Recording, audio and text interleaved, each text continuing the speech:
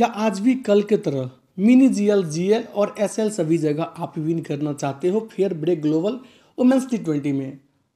तो जी हाँ दोस्तों, आप बिल्कुल सही जगह हो, जैसे हम लोगों ने कल बेहतरीन परफॉर्मेंस किया हुआ था इस टूर्नामेंट का। हमने दोनों मैच कवर किए थे और दो का दोनों क्लीन शिप गया हुआ था।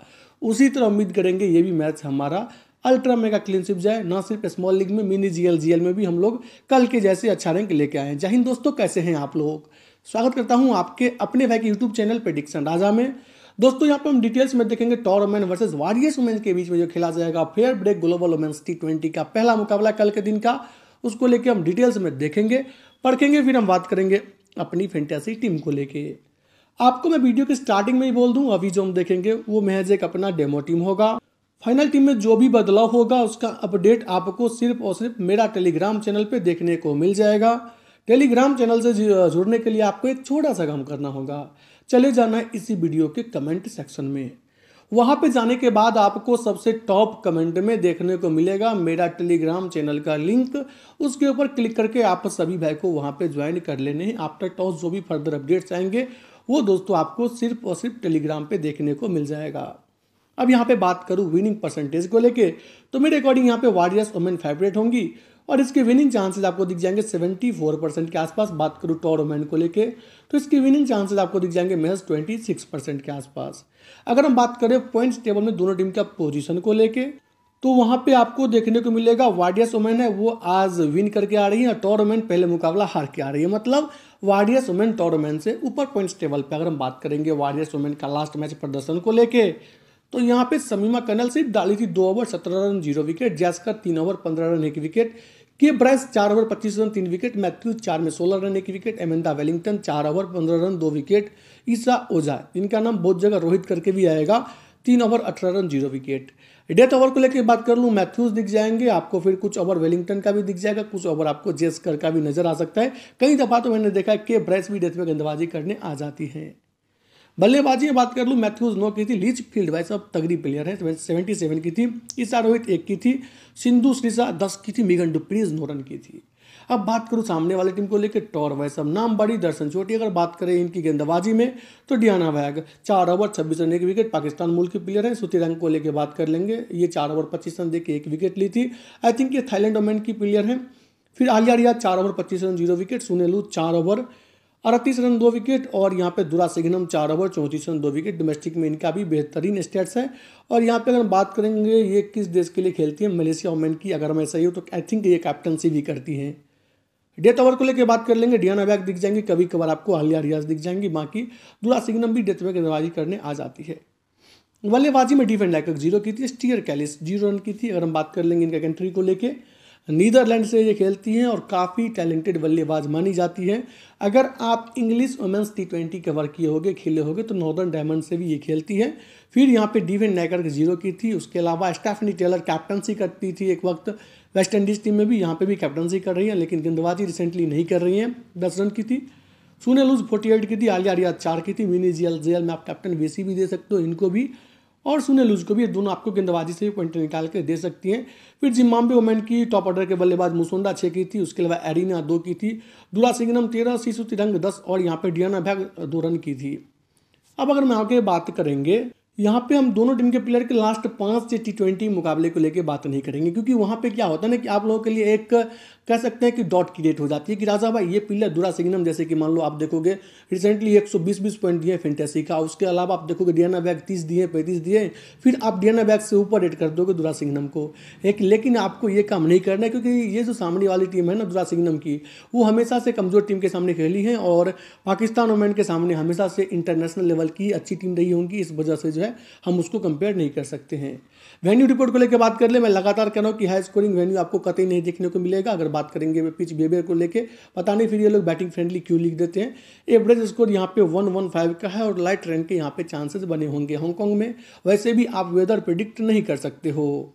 एक बात आपको और ध्यान में दे के चलना है कि भाई सारे के सारे मैच आपको जिस वेन्यू पे देखने को मिलेगा तो जैसे जैसे टूर्नामेंट आगे बढ़ेंगी स्पिनर कंप्लीटली आपको गेम में आते दिखेंगी। यहाँ पे लास्ट मैच का ही जो है स्कोरबोर्ड मेंशन है स्ट्राइक रेट के ऊपर ध्यान दीजिएगा तो पीलीज फ़ील्ड सबसे ऊपर है, उसके अलावा मिगन डुप्रीज है। फिर गेंदबाजी में के ब्रैस का इकोनॉमी सवा छः के आसपास है, अगर सबसे बेहतरीन बात कर लें तो छः से नीचे अमिंदा वेलिंगटन और जेस्कर का है। अगर हम बात करेंगे लास्ट के पाँच टी ट्वेंटी मैच में एवरेज फ़र्स्ट इनिंग स्कोर आपको देखने को मिल जाएगा वन टू सिक्स का। एवरेज टोटल स्कोर आपको दोनों इनिंग मिला के देखने को मिल जाएगा वन वन फाइव का। अगर टॉस को लेकर बात करें तो लास्ट के पाँच में से पाँचों दफ़ा ऐसा हुआ है, जो टीम टॉस जीता, उसने पहले यहाँ पे बॉलिंग की है। अगर हम यहाँ पे बात करेंगे, दोनों टीम के लास्ट पाँच मैच को लेकर तो टॉर की टीम तीन जीती है, दो हारी है वार की टीम दो जीती है, तीन हारी है, लेकिन दोस्तों यहाँ पे अब आपको कुछ अलग देखने को मिल जाएगा। क्योंकि अगर हम लास्ट बैटल के ऊपर भी ध्यान देंगे तो वहाँ पे टॉर की टीम जो है तेरह रन से वार को हरा दी थी, लेकिन आप यहाँ पे उस तरह का परफॉर्मेंस उम्मीद नहीं कीजिएगा। हाँ ये बात और है। डी वेन नैकर जैसी लोग, ऐसी प्लेयर हैं। अगर अपनी पोटेंशियल बेसिस पे खेल गई भाई साहब तो वन साइडेड मैच को लेकर उड़ सकती है। अगर हम बात करेंगे पिछले सीज़न जब दोनों टीम आमने सामने आई थी तो क्या हुआ था? तो पहले बल्लेबाजी करते हुए टॉर ने बोर्ड पर लगाए थे 152 रन जहाँ पे सॉफी डिवाइन खेली थी, लेकिन यहाँ पे नहीं खेलेंगे। स्टीयर कैलिस 58 स्टेफनी टेलर 31 सुनील जेक और मुसंडा सात की थी। गेंदबाजी में ध्यान देंगे मैथ्यू चार ओवर, तैंतीस रन, दो विकेट, समीमा कर्नल चार ओवर, तेईस run, zero wicket. Esha Oza इनका नाम ईसा रोहित जो मैंने बोला था, चार ओवर, बीस रन, ज़ीरो विकेट। उदयसी का प्रवधानी नहीं खेल रहे हैं के ब्रेस्ट चार ओवर, छियालीस रन, एक विकेट। अब यहाँ पे बात करूँ, बल्लेबाजी में जॉर्जिया रेडमैन नहीं खेलेंगे मैथ्यूज इक्कीस उसके अलावा यहाँ पे सिंधु सरीजा थर्टी फाइव की थी मिगन डुपरीज एक के ब्रेस आठ, ईसा ओजा तीन और यहाँ पे यासमीन खान सात की थी। गेंदबाजी हम बात कर लेंगे दुरासिग्नम चार ओवर चौबीस रन, तीन विकेट स्टाफनी टेलर यहाँ पे गेंदबाजी नहीं कर रही है। सुनील चार ओवर बाईस रन, एक विकेट सुतिरंग तीन में बाईस, दियाना वैग, चार ओवर छब्बीस रन, एक विकेट और सीता राना मागर, दो में तेईस run, zero wicket Nepal women के तरफ़ से खेलती हैं ये। अब एक चीज़ मैं आपको यहाँ पे और बताना चाहूँगा। अगर आपने इस टूर्नामेंट को बारीकी से नोटिस किया होगा तो यहाँ पे मैंने कई दफ़ा देखा है, चाहे वो पिछला सीज़न की बात कर लूँ, अभी की बात कर लूँ, यहाँ पे जो छोटे छोटे देश की प्लेयर हैं ना, उनको ज़्यादा बढ़ावा देने को ये टूर्नामेंट किया जाता है। यहाँ पे ऐसा नहीं कि जो बड़ी प्लेयर हैं वो अपने फुल पोटेंशियल के साथ खेल जाती है। यहाँ पे छोटे छोटे प्लेयर को ज़्यादा गेंदबाजी भी मिल जाता है, अगर आपने आज भी देखा होगा।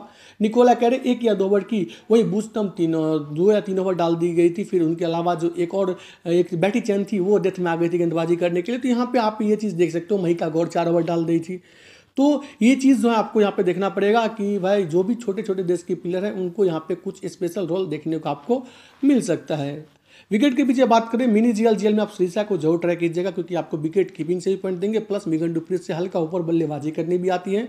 बट अगर आप एज अ बैट्समैन किसी को प्रीफर करोगे तो मेरे लिए मिगन डुप्रीत सबसे ऊपर है इन तीनों में।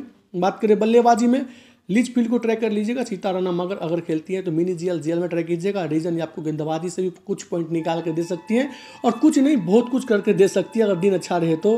क्योंकि जो मैंने आपको कंडीशन बोला, ये इनके ऊपर भी अप्लाई होता है। अगर ऐसा रहा कि इनको चमकाना हुआ उतना ओपनली मैं सब चीज़ नहीं बोल सकता हूँ।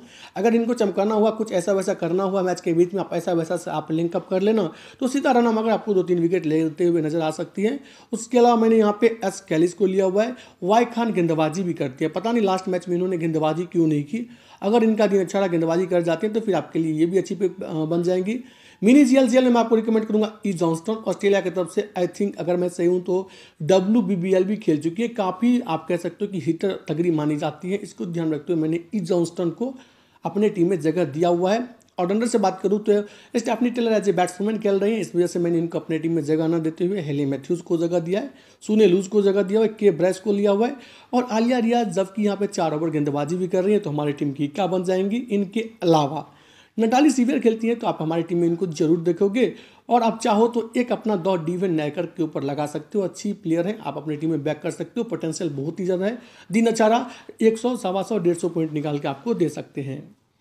बात करूँ बॉलिंग सेक्शन से तो मैं सबसे पहले यहाँ पे लूँगा एमेंदा वेलिंगटन को, फिर मैं लूँगा यहाँ पे जेकर को, उसके अलावा मैं लेके जाऊँगा डियाना बैग को। अब देखिए यहाँ पे। दुरा सिग्नम का लास्ट बैटल भी अच्छा है प्लस यहाँ पे लास्ट मैच में भी अच्छा करके आ रहे हैं। समीमा का अच्छा पोटेंशियल है इनके पास, मिनी जीएल जीएल में ट्राई कर सकते हो। अगर आप डोमेस्टिक स्तर पर देखोगे तो थाईलैंड डोमेन की जो गेंदबाज है, सी सुतिरंग। ये भी लगातार अच्छा की है तो अगर आपको लगता है कि यहाँ पे सुतिरंग आपके लिए अच्छी पिक बनेंगी तो आप उनको भी बैक करके चले जा सकते हो। मैंने अभी डियाना बैक को लिया हुआ है। तो मेरा अभी जो फाइनल टीम रिव्यू है ड्रीम इलेवन और आप कह सकते हो कि माई फाइव इलेवन में जो एक टेन वन वाला सेक्शन है रेगुलर वाले सेक्शन के साइड में, जो कि आप ड्रीम इलेवन की तरह ही वहाँ पे भी टीम बनता है, या फिर इलेवन चैलेंजर्स पे फ्लैक्सी मोड वाला जो टीम बनेगा, वहाँ पे आपको कुछ अलग टीम बनाना है। बाकी सारे आप जो है विजन इलेवन है सपोर्टर सी उसके अलावा जहाँ कहीं भी खेलते हो चॉइस इलेवन हो, वहाँ पर आप कुछ ऐसा टीम के साथ जा सकते हो। Mignon du Preez P Litchfield E Johnston Steyr Kallis Hayley Matthews सोनेलोज के ब्राइस आलियारियाज बॉलिंग में डियाना वैग अमंदा वेलिंगटन और जस्कर अब बात करूँ कैप्टन वीसी को लेके, उससे पहले मैं आपको ये बात बता दूँ कि अगर आप अदर किसी ऐप पे खेल रहे हो लाइक मीन्स ड्रीम इलेवन पे, और अगर आप खेल रहे हो कि मैं फाइव इलेवन टेन वन वाली सेक्शन में, फिर इलेवन चैलेंजर्स में आप फ्लैक्सी मोड में खेल रहे हो तो आप जॉन्स्टन और स्टीयर कैलिस की जगह पर ट्राई कर लीजिएगा एस्टेलर और डिवन नेकर को। या फिर आप ट्राई कर सकते हो समीमा कर्नल दुरा सिग्नम को। तो मैंने अभी के लिए यहाँ पे थोड़ा सा एक अपना सेफ़ कोर को पिक किया हुआ है। यहाँ पे किस किस को? डिवेन नेकर और स्टेफनी टेलर कुछ आप फिर ऐसा टीम लेके जा सकते हो। ठीक है? अभी मैं यहाँ पे ये टीम सेव कर लेता हूँ। यहाँ पे जॉन्स्टन और यहाँ पे स्टीयर कैलिस बात करूँ कैप्टन वीसी को लेकर तो मैं आपको पाँच प्लेयर रिकमेंड करूँगा। Hayley Matthews Sune Luus Aliya Riaz Amanda Wellington, उसके अलावा मैं आपको रिकमेंड करूँगा, अगर आप रिस्क अफोर्ड कर सकते हो तो केव रेस भी आपकी अच्छी खासी कैप्टन बीसी की पिक बन जाएँगी। अभी मैंने अपनी स्मॉल लीग टीम में कैप्टनसी का वार सौंपा है मैथ्यूज़ को वीसी मैंने बनाए हैं एमिंदा वेलिंगटन को। बाकी टॉस का इंतज़ार करेंगे टॉस के बाद जो बदलाव होंगे, उसका अपडेट मैं आपको टेलीग्राम पे दे दूँगा। टेलीग्राम का लिंक आपको इसी वीडियो के कमेंट सेक्शन के सबसे टॉप कमेंट में देखने को मिल जाएगा। उम्मीद करता हूँ ये वीडियो आप लोगों को अच्छा लगा होगा। अगर दोस्तों वीडियो अच्छा लगा हो तो वीडियो को लाइक और यूट्यूब चैनल को सब्सक्राइब ज़रूर कर लीजिएगा। मिलते हैं नेक्स्ट वीडियो में। तब तक के लिए बाय एंजॉय कीजिए अच्छा खासा विन कीजिए।